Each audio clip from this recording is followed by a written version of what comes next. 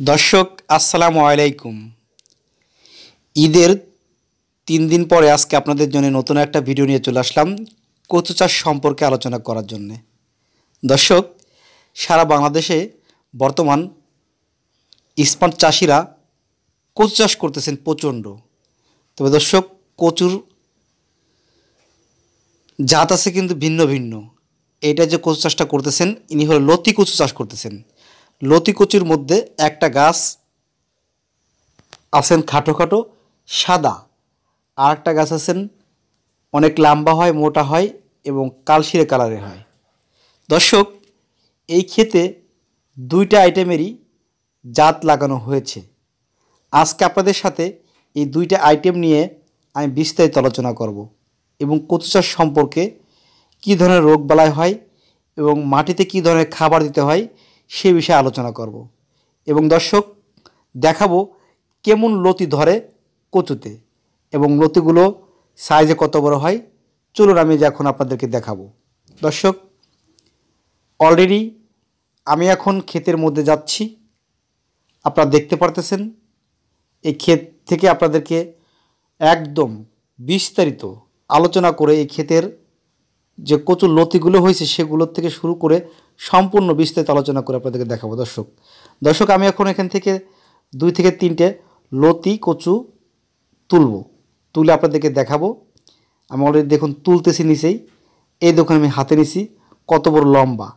এটা কিন্তু সবে মাত্র মানে এটার বয়স দশ থেকে বারো দিন বেশি হলে পনেরো দিন হবে। পিছনে পুরোটাতেই প্রত্যেকটা গাছে লতি চলে আসছে, দর্শক। তো দেখুন কত লম্বা হয়েছে, এটা কিন্তু অনেক মোটা হবে এবং নরম থাকবে, রান্না করলে সিজে যাবে। দর্শক, আমি নিচে আপনাদেরকে একটু গাছ দেখাচ্ছি, দেখুন। গাছের গোড়ার দিকে আমি একটু ক্যামেরা নিয়ে যাচ্ছি। এ দেখুন, প্রতিটা গাছ থেকে চারটে, পাঁচটা, দশটা করে লতি বের হচ্ছে। আমি একটু দেখানোর চেষ্টায় আছি, পাতাগুলো সরিয়ে। দেখুন, প্রতিটা গাছ থেকে তিনটে, চারটে করে লতি ধরে আছে এখনও আর গোড়ার দিকে বের হচ্ছে। দর্শক, আপনারা দেখতে পারতেছেন আমার পান নিচে গাছের গোড়ায় পানি। কচু গাছে যখন লতি আসে, তখন কিছু পরিমাণে সার এবং গাছের কিছু অন্য খাবার ব্যবহার করতে হয়। এগুলো ব্যবহার করে সেচ দিতে হয়। লতি আসার দশ পনেরো দিন আগের থেকেই। সেচে রাখলে এবার সেচ দিয়ে রাখলে, পানি দিয়ে রাখলে সে সমস্ত গাছে খাবারগুলো খুবই সহজে নিতে পারে এবং লতিগুলো অতিরিক্ত আসে এবং পাশাপাশি লতিগুলো মোটা হয় এবং লম্বা হয়।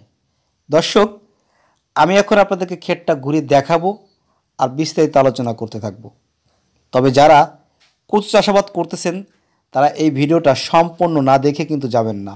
এবং দেখতে দেখতে যারা এখন আমার চ্যানেলটা সাবস্ক্রাইব করেন নাই এবং নোটিফিকেশনটা অন করে দেন নাই, আপনার চ্যানেলটা সাবস্ক্রাইব করে দেবেন এবং কি নোটিফিকেশনটা অন করে দেবেন, যাতে এই ধরনের ভিডিও আপনার চ্যানেলে সর্বপ্রথম এসে আপনার মোবাইলের সামনে শো করে থাকে, যাতে আপনি দেখতে পারেন দর্শক। দর্শক, চলুন, আমরা মূল আলোচনা দিয়ে চলে যাই। কচু চাষের যে বৈশিষ্ট্য, গাছ লাগানোর যে নিয়মটা আমরা আপনাদেরকে একটু বলব এবং কতটুক ফাঁকা করতে হয় আর মাঝে কতটুক পিড়িতে ফাঁকা দিতে হয় সেটাও বলে দেব। এবং কচু চাষ করার জন্যে সর্বপ্রথম কি করতে হয়? সর্বপ্রথম আপনি জমি তৈরি করবেন, জমি তৈরি করে প্যাক তৈরি করবেন। সেই প্যাকে টিএসপি, পটাশ এবং পারলে সাথে কিছু জিপসার, কিছু বোরন দিয়ে প্যাকটাকে কমপ্লিট করবেন। দর্শক দেখুন এখানে যিনি ফাঁকা রাখছে, দেড় হাতের উপরে, দুই হাতের কাছাকাছি একটু কম, আর একটা গাছ থেকে আরেকটা গাছ এক হাত থেকে একটু কম আছে দূরত্ব। দর্শক, একটু খেয়াল করে দেখুন, আমি দেখাচ্ছি, এক হাত থেকে একটু কম আছে দূরত্ব এক একটা গাছের কচু থেকে আরেকটা কচু গাছ। এবং মাঝে যাওয়ার জন্যে, ওষুধ স্প্রে করার জন্যে এবং লতি তোলার জন্যে একটা স্পেস দেওয়া হয়েছে দেড় হাতের একটু বেশি, যাতে লতি কচুগুলো সুস্থভাবে বাইতে পারে। এটা লতির ক্ষেত্রে কিন্তু এভাবেই জমিতে কচু লাগানোর নিয়ম। এই জন্য দর্শক আজকে ভিডিওটা মজাদার এবং বোঝার বিষয়, আপনারা দেখবেন। দর্শক, আমরা প্যাকের বিষয় নিয়ে আলোচনা করছি। এখন আলোচনা করব, লাগাই দেওয়ার পরে যখন গাছ বেঁচে যাবে, বেঁচে যাওয়ার পরে একদম শিকড় টিকড় ছেড়ে দেবে।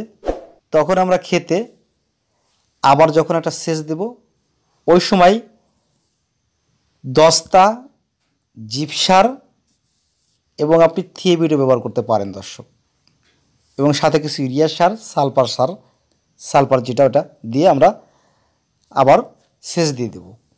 দর্শক কচু গাছে যে রোগ বালাইগুলো আসে, সেটি নিয়ে আমি আলোচনা করব। তবে তার আগে দেখুন আর একটা বিষয় দেখাচ্ছি। যে দুটো জাত নিয়ে আলোচনা করতেছিলাম অতি গাছের একটা গাছ হইতে সাদা আর একটা গাছ হইতে কালশিরে। এই সেই গাছগুলো আপনাদেরকে দেখাচ্ছি, দর্শক। দেখুন এই কালশিরে গাছে কিন্তু লতি বেশি হয়। কিন্তু সে, দেখুন আমি সেই লতিগুলো আপনাদেরকে ধরে ধরে দেখাচ্ছি প্রত্যেকটা গাছ থেকে লতি আসতেছে। তো অনেকেই সাদা লতিটা বেশি পছন্দ করে। এই জন্যই বর্তমান কৃষকেরা সাদা লতি, সাদা গাছ লাগাচ্ছে। এবং দেখুন কত সুন্দর সিঁড়িবদ্ধ গাছ লাগাইছে এবং লাইনটা থাকবে একদম সোজা। প্রত্যেকটা গাছের গোড়া দেখুন, এই কালাকচুগুলো একটু মোটা এবং লাম্বায় বেশি হয়।